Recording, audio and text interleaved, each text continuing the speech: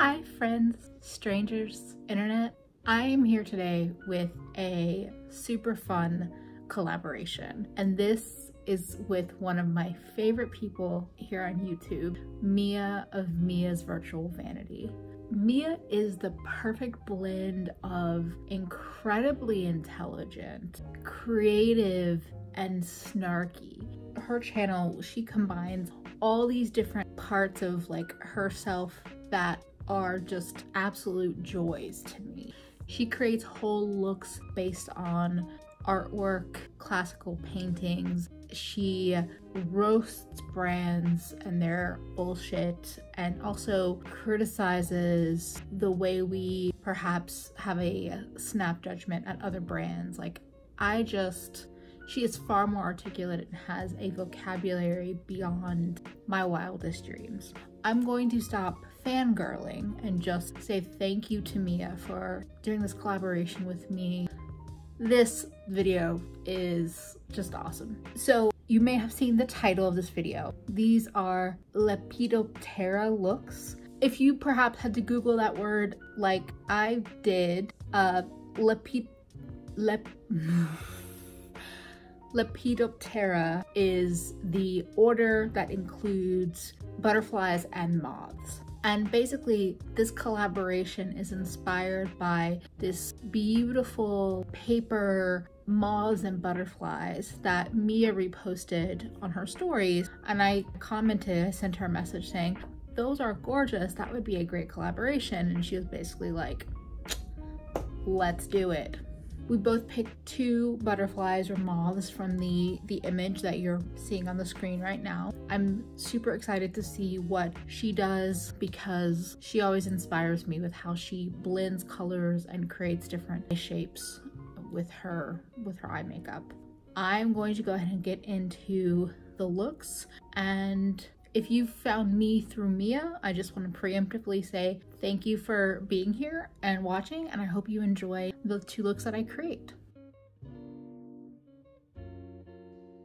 Gonna jump right into look number one. So Mia shared these handmade paper butterflies and moths that this company makes. I was immediately drawn to this one butterfly. They're all gorgeous, but this one with the kind of periwinkle blue to purple, just my eye went straight to it. Just for reference, I pulled out single eyeshadows along with my purple ColourPop palette for colors for this look. I'm going in with a matte periwinkle blue on a pointed blender brush. I'm focusing that on the beginning of the lid, not quite to the inner corner, but just the beginning of the lid.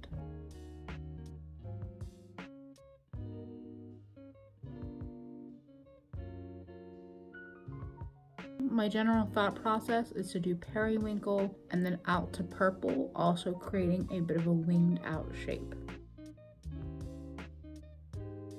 So I'm dragging a little bit dipping back in, placing it down and dragging outwards just a little bit.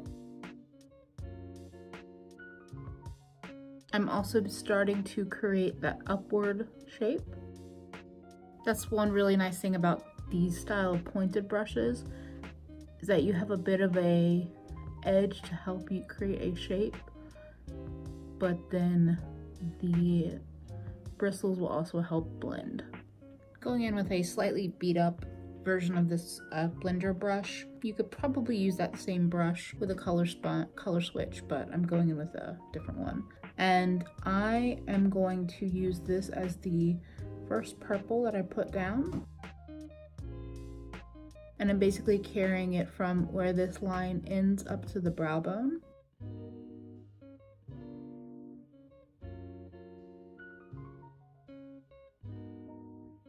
apologies for the change in camera angle. So I have my blue brush again. I am blending these colors together. Also, because of the hooded eye struggles, when I have my eyes open, I want a little bit more of the blue visible. So I'm keeping my eyes open a little bit and trying to bring that blue up just a little bit more visible over the lid.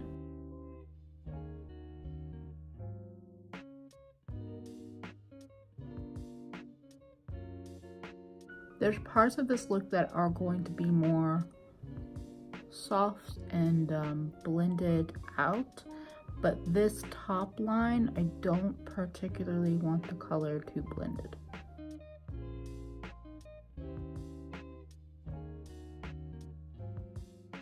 Picked up a little bit more blue on the very tip of that brush. Working on that line a little bit more. And by working on, I mean building it up bringing it up just a little bit higher.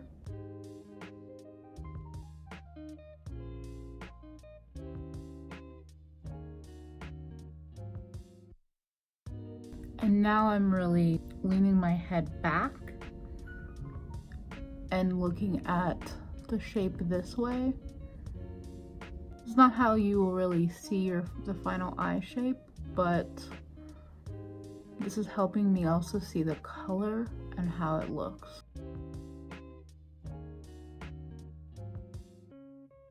This was a little bit accidental, but I'm I'm liking the look of carrying the blue up and blending it more into the purple along this top edge. I feel like it mimics some of the shading that you're seeing in the butterfly. I'm also working on making the color a little more intense on the lid. With pigments like this, it can be challenging. So if it doesn't look perfect, I wouldn't stress yourself too much. So part of this look, I've really envisioned this look as the purple kind of going into the blush without really much of a seam. So this effect that I'm working on with the, the eye look going into the cheek, I am using my lavender blush again, but we may be dipping into the eyeshadow as well to use as blush and that was going to be my next directive is unlike last video where I learned that blush cannot always be used as eyeshadow because sometimes it does irritate your eyes eyeshadow can be used as blush generally speaking. I feel much safer saying that than than last video's situation. For something like this where you're you're kind of connecting an eye and a cheek, you just want to be pretty purposeful with how you place product. I'm using a slightly smaller blush brush than I might normally use, and I'm just dabbing it right where I see the eyeshadow kind of end, and I'm going to carry it down, almost creating a bit of a U shape.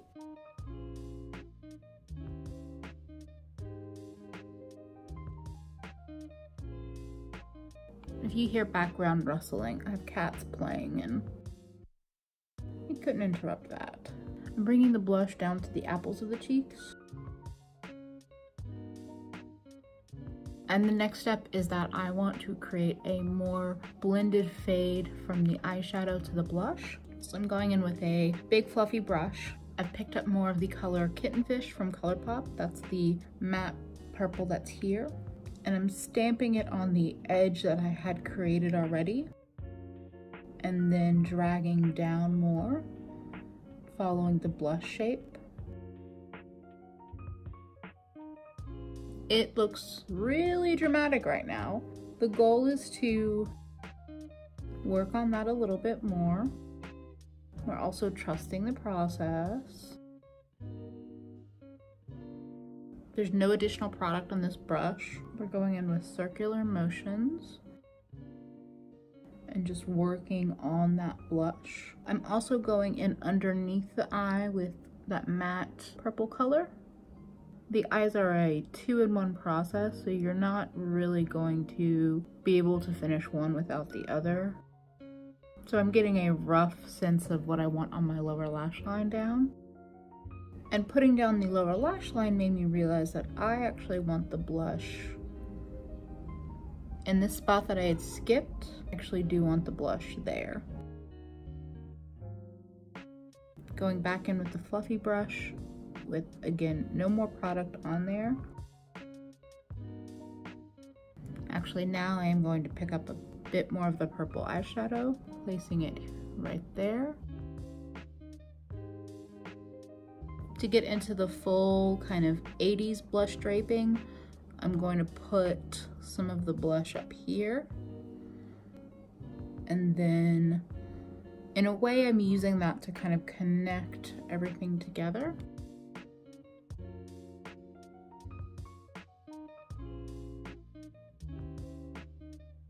So that's the like shape that we've created so far. If I had to do this again, I would not have created that dramatic shape.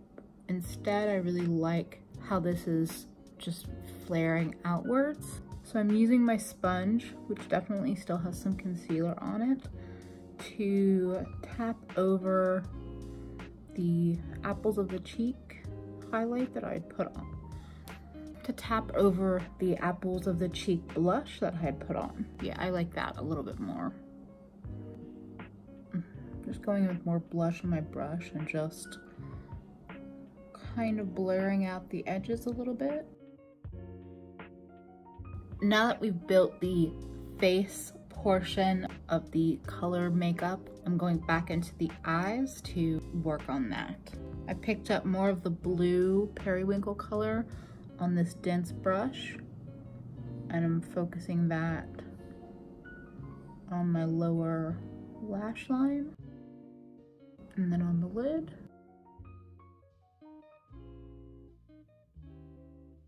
I'm using this brush all along the lower lash line with the blue and then I'm going to use the fluffier brush that had the purple with no additional product just to blend into that blue so that you get a similar blue purple at the lash line that blends into the light purple onto the face the next step of this eye look, I have this color from Clionadh Cosmetics that is a beautiful blend of periwinkle and purple. I want to add some dimension to the eye and also cover up some of the less than perfect parts of the eye makeup look. I am doing this without putting down NYX glitter glue because I don't want to disrupt the colors that are underneath I'm also gonna be doing this with my finger just cause I feel like that for today. I'm focusing it on the lid.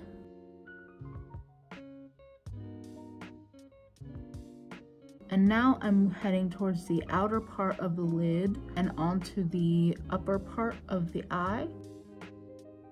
Using this as a second blend out color for the blue to purple effect. So this has created some shine on this part of the eye and then I feel like you get a more intense shift on the lid. Let's build it up a little.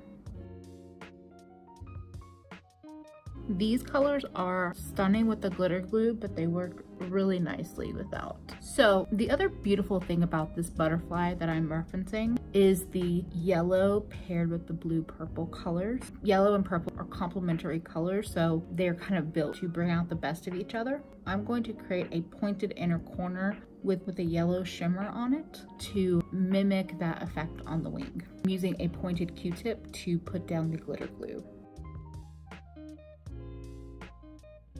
I'm using a small pointed brush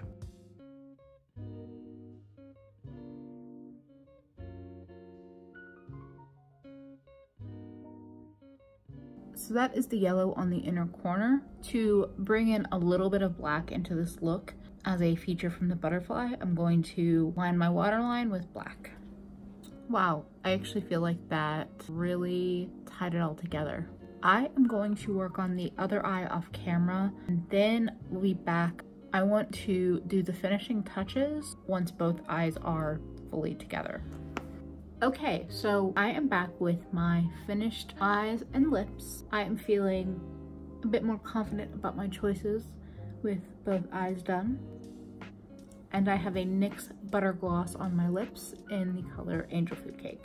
The last step I was debating about but you know I love my glow. So I have this new palette from Makeup Obsessions, which I believe is a long established part of the Makeup Revolution line, and they just brought it to Target in the US. This pinky toned highlight I think would be a nice addition to the tops of my cheekbones into the apple. Using the same brush that I used for blush and popping it right here and down to the apples.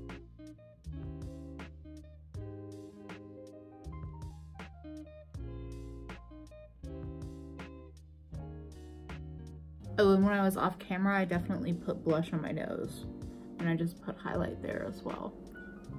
Feeling sufficiently pinky, purpley, blue periwinkle now. That is my first of two looks. Just keep watching for another butterfly inspired look.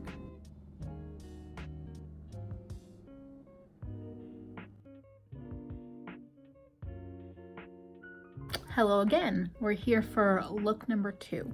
Now, my second look is based on the orange and teal butterfly you are seeing on the screen. So my first look I felt like the shape was a bit softer and this one I want to do something a little bit perhaps weirder and slightly more structural. I am nervous to see how it turns out but we'll be along the ride together. So for this eye look I have pulled together another palette of single shadows this eye has been primed with concealer, which is my normal protocol. We're picking up the matte orange. It's like a juicy tangerine color on another pointed blendy brush. Basically, I'm, I'm aiming to create a rounded shape. The orange and the perhaps the ready orange will be in that shape. I'm starting on my lid because I do want color down there. I like to pick up a lot of product, but then kind of tap off the brush so that any immediate falling so that so that any immediate falling shadow will not end up on my face but I'll get a lot of pigment.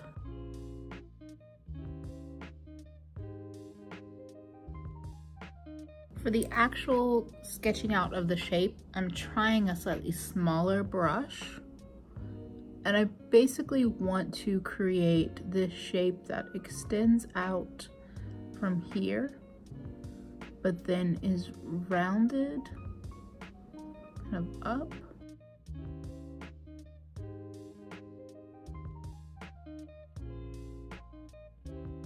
Just want to make sure I'm in the right frame for you all. With a brush like this, it may not lay down the color the nicest at first, like how it's patchy right here.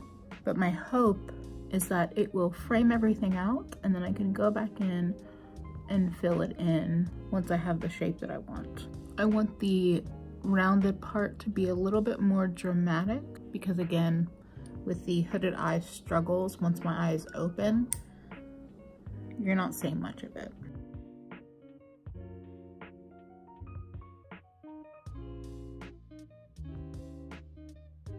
I'm really shooting for a very round shape that just ends with that wing. Not even wing, it just ends at a point.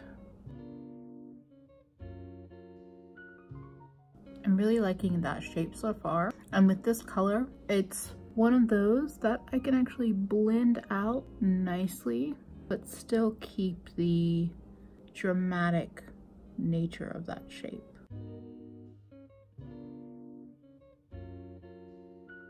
The blend out is a little strong, so I'm going in with a clean brush.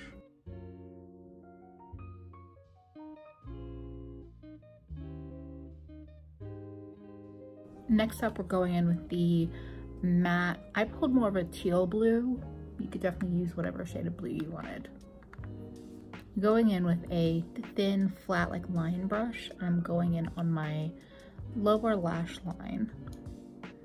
I want to build the blue and it will meet out to the edge of the orange. Starting at the center of my eye because that's gonna be the lowest point in the line. I wanna keep that in mind. And I'm taking it along the shape of the eye. Sorry if you can't see this because I'm all up in the mirror.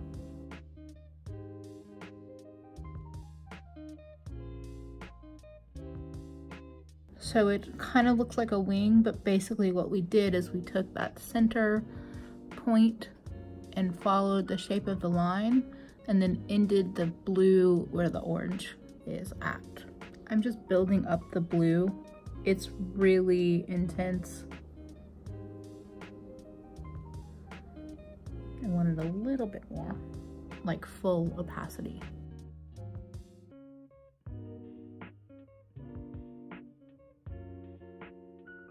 So here's the part of the eye look that I am nervous about. After staring at that butterfly for so long, I got this idea to create a cut crease effect, but more of a circle than a full cut crease to mimic circles that are on the butterfly. I'm basically following the width of my little brown brown eyeball and then I just want to slowly build that shape up so that it is a more rounded shape. Yeah, the thing that I didn't want to happen or was hoping wouldn't happen happened and it transferred. So originally this shape was not the plan at all. Now that it's happened, I quite like it.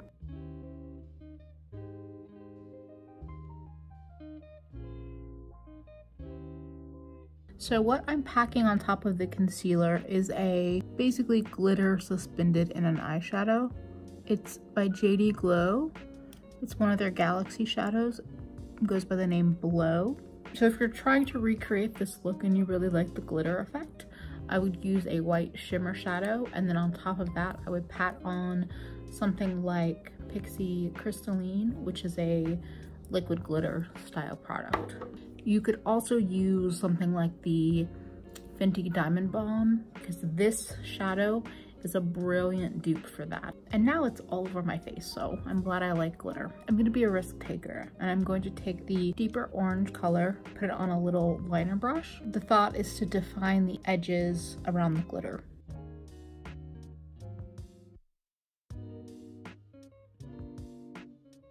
This part of my eye is so hard to get to.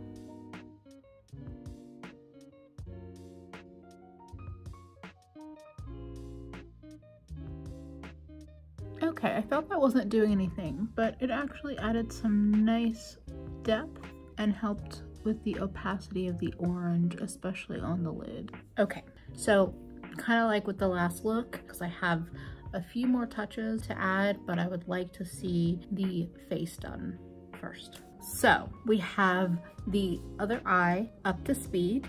I put black eyeliner in the waterline and I did mascara. There's two things I want to add on that I wanted to do on camera so that you all could be a part of the process. So once I put the black in my waterline, I realized that that I want just a tiny bit of black in between the blue and the orange. So I'm going to use this brush again with black eyeshadow rather than liquid liner because I feel like I have more control with this and less fear. It's giving me a little bit of a thicker line, but I just want a little bit of definition going out to that edge. Eh, left side is not as good as the right side, but that happens. So the other thing I want to play with is dots. Ever since I discovered Annette's Makeup Corner, uh, she actually reminded me of Dominique LDR, I think is the account. I think is her account on Instagram. I believe she was one of the original people that were in Battleash, which was the group that Samantha Ravndahl came from. Anyway, so that creator, Dominique, a few years back did a lot of looks with like colorful dots all over the face. And they and this is what I was very early into like my makeup exploration and also just had a kind of vague idea of what YouTube was. But I found her Instagram and I was just so into the idea. And so when Annette has been doing these dots lately, they remind me of her and uh, so sorry for that story time, but that's kind of where I got so inspired by it. So I just picked up a white eyeliner at the drugstore. I'm thinking some dots down here and maybe up here and perhaps something on the inner corner. I'm not sure, but I'm gonna start with this.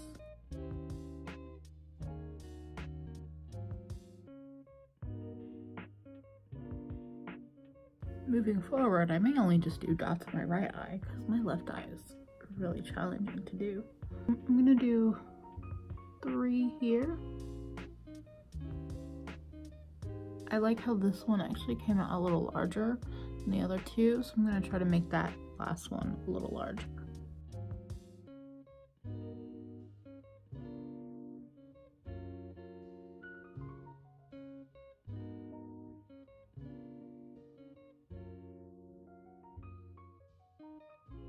I probably should have photographed this look before adding the dots because because I did not do the best job at these dots. But did what I did and gotta live with it. The 10 minutes I'm gonna have this on. So that is the final version of my Lepidoptera look number two. I'm getting better at that word. Yeah. This was a fun one. It totally turned out completely different from what I expected. And I'm good with that. So we did it. We did two looks inspired by two different butterflies using lots of color, some new techniques, and we did it in collaboration with an amazing person, Mia from Mia's Virtual Vanity. I'm pretty sure I already profusely raved in the intro to this video, just in case it's not obvious enough. I really respect and adore the stuff that Mia is doing on YouTube and her as a human being. I just want to send her a bunch of love. I know she's also been going through a lot of stressful stuff with work and I understand those feelings so much and I'm here for you if you need anything, if I can help you from across the, the world a little bit. If you haven't discovered Mia's Virtual Vanity, I highly recommend you check out her channel. Her Instagram is full of gorgeous flat lays and eye looks that she creates. Her channel is thought-provoking and inspiring and super creative and I think I'm finally done with my profuse compliments. If you're new here from Mia's channel, again, thank you for, uh, for coming by. If you enjoyed this, I would love for you to subscribe and stick around. Then you can see what other ridiculous eye looks I have possibly in the works. Thank you for spending a part of your day with me. I hope to see you again real soon. Bye, friends.